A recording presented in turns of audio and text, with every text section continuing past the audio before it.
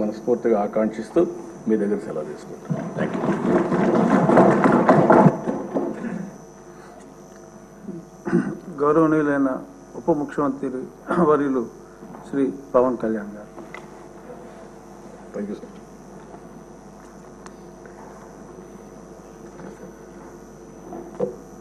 deputy speaker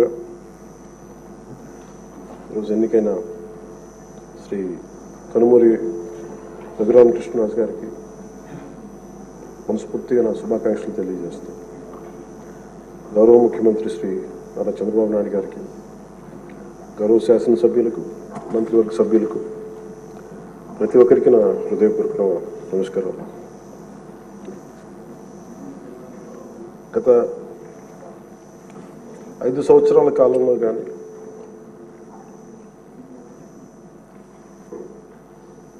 నా political observation కానీ నేను పాలిటిక్స్ రావడానికి రీజన్ కానీ ఏడు దశాబ్దాలుగా మన చరిత్ర చదువుకున్న రైట్ ఫ్రమ్ మన ఫ్రీడమ్ ఇండిపెండెన్స్ మూమెంట్ నుంచి. చిన్నప్పుడు స్కూల్లో చరిత్ర చదువుకున్నా కానీ చాలా గొప్ప గొప్ప మహానుభావులు ప్రాణత్యాగాలు చేసి పోరాటాలు చేసి ఈ దేశాన్ని నిర్మించారు ఈ వ్యవస్థలు నిర్మించారు. ఎక్కడ కూడా to deter criminals into politics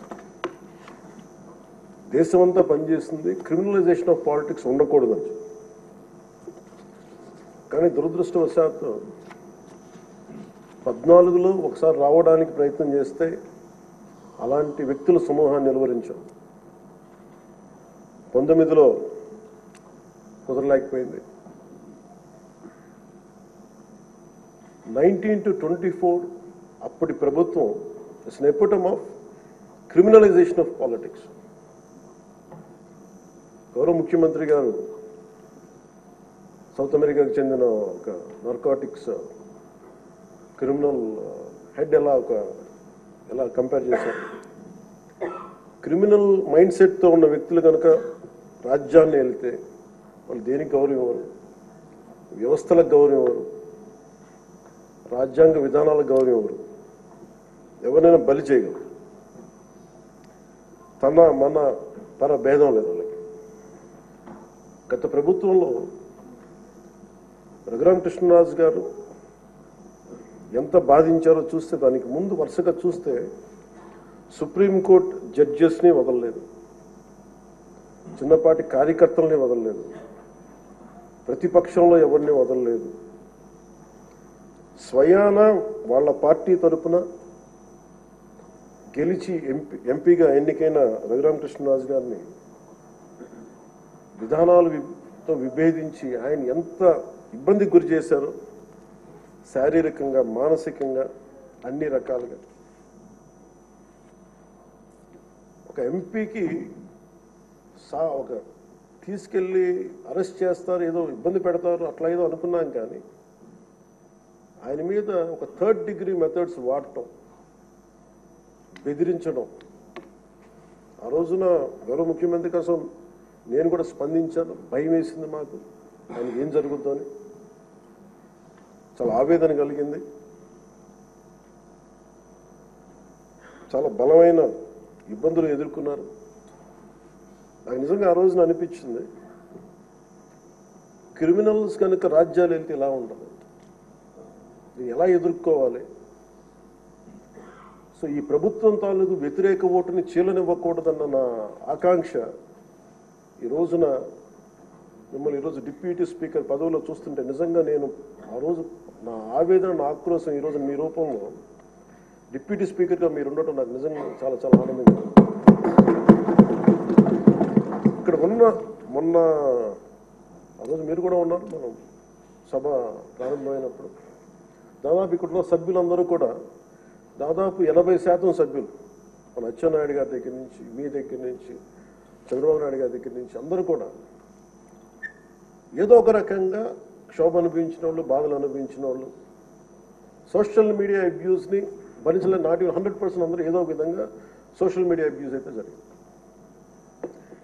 ఇలాంటి పరిస్థితుల్లో మనందరం కలిసికట్టుగా ఉండి ప్రజాస్వామ్యాన్ని కాపాడినందుకు మనస్ఫూర్తిగా ఈ సభకు నేను మనస్ఫూర్తి ధన్యవాదాలు చెప్పుకోండి మీతో ఇది భవిష్యత్తులో మీరు ఈ పదవిని అలంకరించారు మీరు.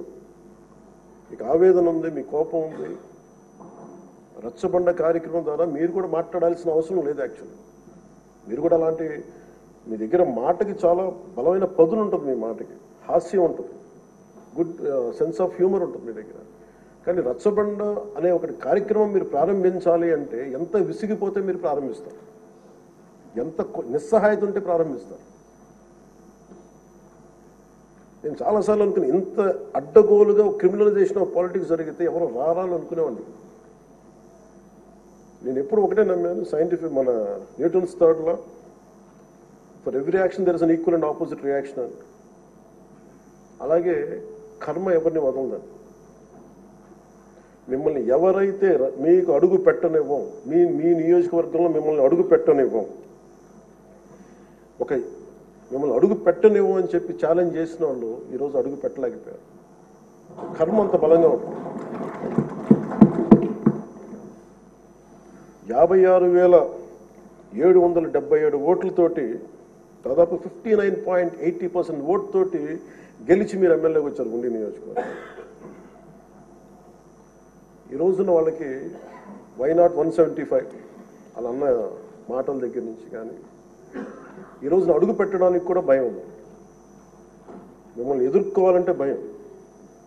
ఎందుకు మనం వ్యవస్థల్ని కాపాడాలి? ఎందుకు రూల్స్ పాటించాలి అంటే మనిషి అధికారం మదం ఎక్కి అహంకారంతో ఉంటే ప్రకృతిలో ఏమీ జరగదు ఏమి అనుకోవడానికి లేదు.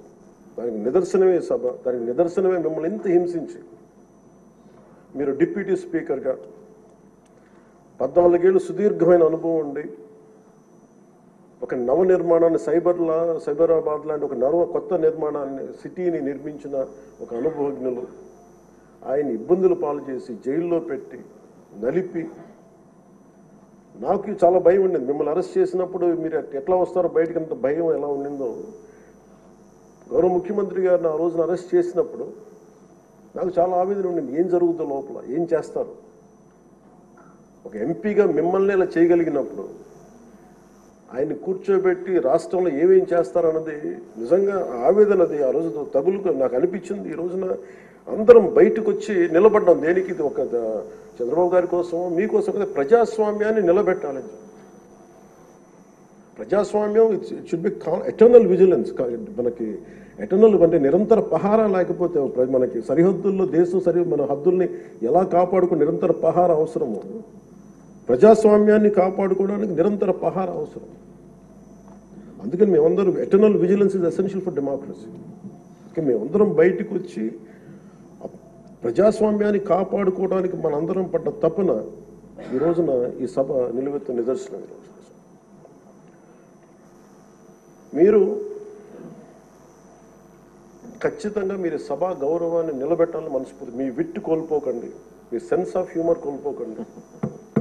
ఎందుకంటే మీరు ఉంటేనే ఉండి మీరుంటే అన్ని నవ్వులు పువ్వులు ఉన్నాయి చూడండి. ఆనందాన్ని తీయకండి. అట్ ది సేమ్ టైం మేము కోరుకునేది కూడా ఆ ప్రజాస్వామ్యం తాలూకా విలువల్ని ఆ భాషని కాపాడు. సభల్లో భాష దిగజారిపోతే అది రోడ్ల మీదకి వెళ్ళిపోతుంది ఈరోజు. అంటే ఎవరు ఏం మాట్లాడుతున్నారో ఇష్టం వచ్చినట్టు మాట్లాడు. బూతులు తిట్టి. మేము ఇళ్ళలోకి వచ్చి మీ ఇంట్లో మీ ఆడపడుచుని రేపులు చేస్తాం. మీ పిల్లల్ని ఎలా అంటాం? అడ్డగోలు ఈరోజు ఇంతమంది మాట్లాడుతున్నారంటే దానికి చట్టసభల్లో నుంచే ఆ కదలిక మొదలు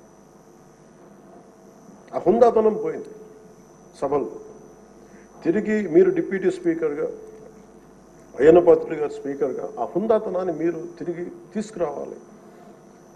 ఒకటో రెండు సందర్భాల్లో మనం వచ్చినప్పుడు ఎవరో ఒక మాట ఏదో అంటే గౌరవ ముఖ్యమంత్రి చంద్రబాబు నాయుడు గారు ప్రత్యేకించి చేయొచ్చు మళ్ళీ ఇంకా అలాంటి కల్చర్ తీసుకురాకుండా అది అయిపోయింది గతం సది సో అది మీరు మనస్ఫూర్తిగా దాన్ని పాటించి సభ గౌరవాన్ని నిలబెట్టాలని కోరుకుంటా ఉన్నాను. ఒకటే ఒక విన్నపం అధ్యక్ష స్థానంలో కూర్చున్న మీకు. మీ టెన్యూర్లో అయ్యన్న పాత్రుడు గారు మీ మీ టెన్యూర్లో కరెక్షన్ మొదలవ్వాలంటే భావ ప్రకటన భావ స్వేచ్ఛ మీద ఇష్టానికి మాట్లాడేస్తున్నారు అన్నారు అందరూ మనకి గౌరవ మంత్రి లోకేష్ గారిని బుద్ధులు తిడతారు. ఏదన్నా అంటే భావ ప్రకటన భావ స్వేచ్ఛ అంటారు. దీనికేదో ఒక ఫైనల్ కరెక్షన్ ఈ సభలో జరగాలని కోరుకుంటున్నాను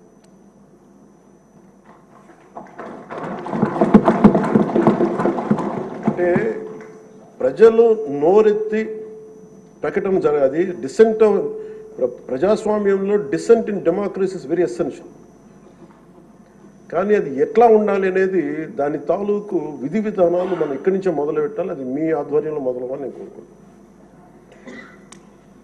నేను కీలకంగా కోరుకుంటుంది ఈ రోజున మీ తరఫున గౌరవ ముఖ్యమంత్రి గారు కూడా తెలియజేస్తా ఉన్నాను. Social media abuse protection bill అత్యంత తక్కువ సమయంలో రావాలి బాగా చర్చ జరగాలి. మీరు డిప్యూటీ స్పీకర్ హోదాలో ఉండి అయ్యన్న పాత్రుడు గారు స్పీకర్ హోదాలో ఉండి మీ టెన్యూర్లో social media abuse protection bill రావాలి. మన హోంమంత్రి గారిని వదలలేదు అనిత గారిని. ఇంట్లో ఉన్న ఆడవాళ్ళని వదలట్లేదు. అంటే ఒక సైకలాజికల్ అబ్యూస్ సైకిల్ ఒక ఒక పాశవికంగా తయారయ్యారు సేరిస్టిక్గా తయారయ్యారు. దీని మీద మనందరం irrespective of difference of opinion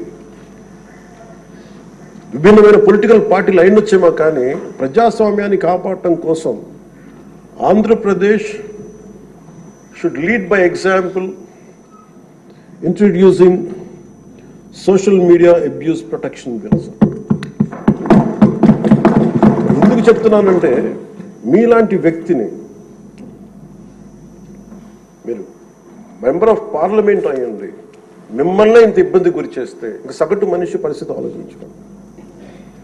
మూడేళ్ళ బిడ్డలు ఐదేళ్ళ బిడ్డలు కూడా రేప్ చేస్తున్నారు క్రిమినల్స్ అంతా చెలరేగిపోతున్నారు అంటానికి కారణం ఈ చట్టసభలు ఇష్టారాజ్యంగా మాట్లాడి దానికి ఒక క్రిమినల్ నక్సెస్ లాగా ఒక ఇందాక ఎస్కోబార్ ఒక డ్రగ్ కార్టల్ స్టార్ట్ చేస్తే వీళ్ళ క్రిమినల్ ఎంపైర్ని గాడ్ చేసుకోవడానికి ఒక సోషల్ మీడియా ఒక అబ్యూజివ్ కార్టల్ని ఒక స్టార్ట్ చేసి ప్రజల్ని భయప్రాంతులను చేసి అందరినీ భయపెట్టేసి కంట్రోల్ చేయడం నియంత్రించడం మాకు ఎదురు తిరిగితే మనకి కృష్ణరాజు గారు లాగా మిమ్మల్ని జైల్లో పెట్టేస్తాం.